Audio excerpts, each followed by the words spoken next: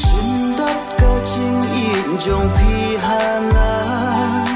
cầm lòng xưa cùng kỳ por mình